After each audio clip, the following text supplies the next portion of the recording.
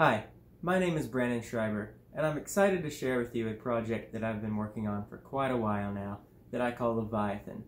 Leviathan is a circuit board I designed to automate nearly every aspect of an aquarium. It's fully customizable, letting you add as many or as few features as you want. We've got a fully decked out board here, just to show it off. What you can do with it is install it in one of these custom enclosures with the connector poking out right here.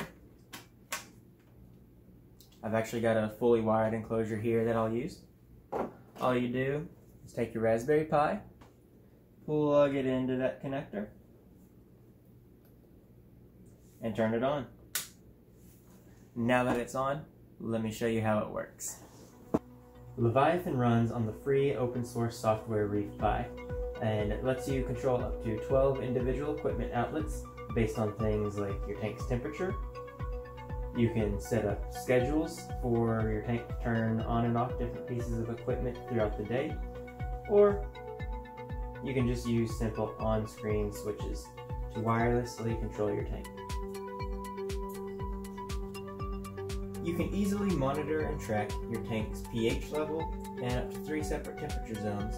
You can also set these readings to send you alerts, control equipment when your tank gets above or below a certain level, control how often it checks it, and more. You can easily program automated lighting cycles to dim and brighten your lights throughout the day, or manually control their intensity and spectrum using on-screen sliders like I'm doing here.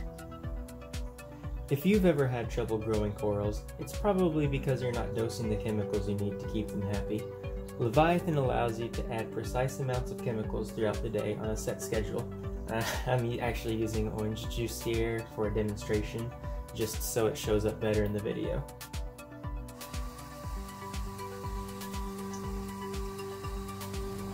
Finally, Leviathan can control your water level and salinity level based on readings from mechanical float switches and optical level sensors.